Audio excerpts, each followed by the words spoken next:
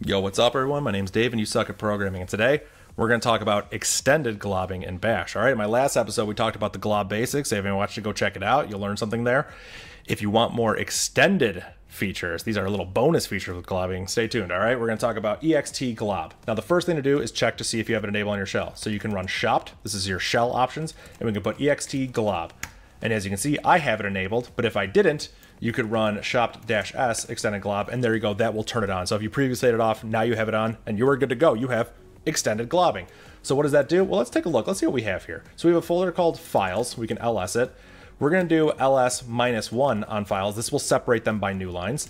And you can see that we have six files. foo.jpg, foo.text, bar.jpg, bar.text, baz.jpg, baz.text. All right, cool. So what can we do? Well, with basic globbing, we can do star.text and we'll match any of the text files, right? You've seen this before. There's nothing extended about that.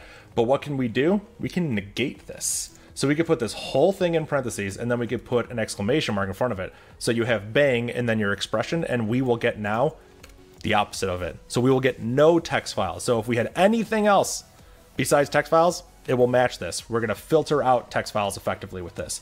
We also can do some fun stuff here. So in parentheses, we can do a little bit of regex work, okay? So let's say we want to match foo or bar dot text.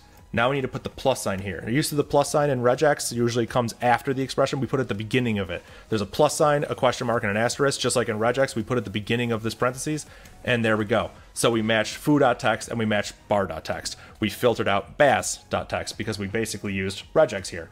So, like I said before, you might be used to a question mark or a star. You could put it here. Um, this would match, you know, um, what is a question mark? Zero, one, one or many, and then zero or many. Um, so yeah, look up basic regex if you want to know how to do this. So there you go. There's some basic extended globbing in Bash for you.